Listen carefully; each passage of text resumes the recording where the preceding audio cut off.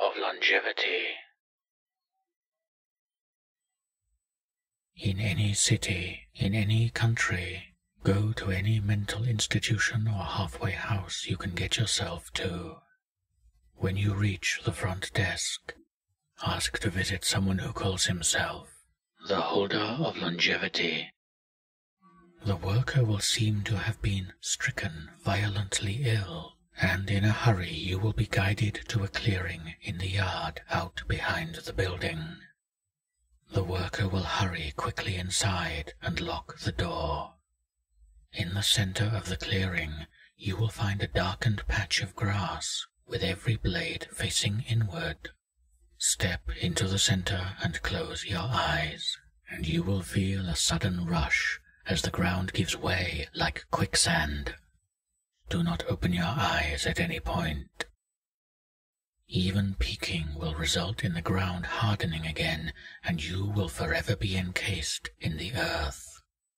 Instead, hold your breath and count to ten, and you will feel yourself coming to a gradual stop. By the time you finish counting, your feet will rest on solid soil, and you may open your eyes. You will find yourself in a new clearing with a dirt floor and large stone pillars, perfect yet seemingly naturally formed, surrounding you in a ring. Beyond these pillars is only darkness, and from this darkness you will hear an inaudible murmur. No matter how close you come to the pillars, the darkness will never depart. The murmurs will never grow louder, and you will never see what makes these sounds. Cross the pillars, and the darkness will reach out to encase you, and you will become a part of the mindless, unseen mass that you had previously sought. Never will you be freed. Should you remain in the boundary of the pillars, you will notice a bell lying on the ground. Ring it, and suddenly you will feel the ground begin to quake. The bell will begin to dissolve into an ominous green aura that will hover like a cloud.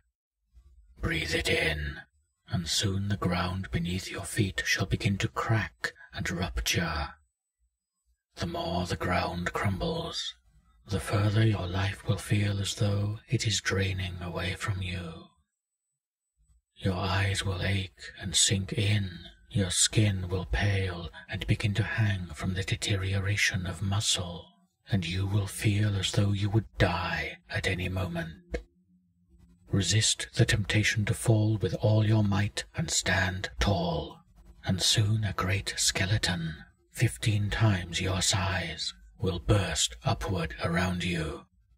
Its hands will rest to the ground on either side of you as its massive skull looms above you, glaring down with the burning green flame deep within its empty sockets.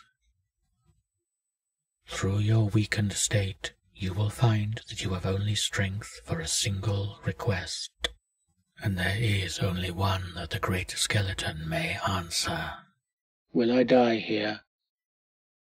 Should you ask incorrectly, attempting to correct yourself will cause your body to immediately collapse and you will be consumed by the darkness. If you ask the right question, the skeleton's eyes will glow brightly, blinding you, and your mind will be filled with a macabre, echoing voice. The voice will torment you to merely hear it sapping the remains of your strength until you feel as though it is impossible to stand. It will tell you a long tale of a man who once found an ancient necklace made of gold and small bones. Whenever he moved in the proper direction, the chain would seem to get longer, and whenever he made a mistake, a bone would fall away. Eventually, after years of searching, the necklace had led him to the catacombs of an ancient cemetery deep within a forgotten forest. As he entered, the chain began to crumble to dust, allowing the bones to fall to the ground and return to the skeletons they had been gathered from. At the end of the hall was a single coffin. Within were the remains of a headless king. Only one bone remained, and that was a skull. As he placed it into the coffin, the skull grew to proper size and returned itself to the remains. The coffin then filled with flame too hot to be natural, and once they cleared remained only ashes of bone. Within them was an old, cracked bell. Had you stood strong through every grueling detail of the story, the bell's aura would finally be exhaled and ensnare the skeleton, igniting it into green flames. The Great One's bones will dissolve into black ash and fall before you. In the pile there is a small necklace of perfect gold and tiny bones. Put it on, and you will fall into a deep slumber where you will sleep for an entire year. You will awake at home in your own bed, feeling healthier than you ever have. As long as you wear this necklace, you will never feel sickness or fatigue.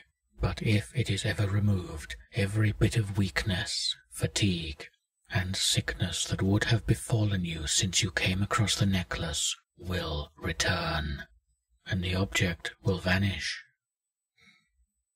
One of these bones is object 272 or 538. Remove one, and you remove them all.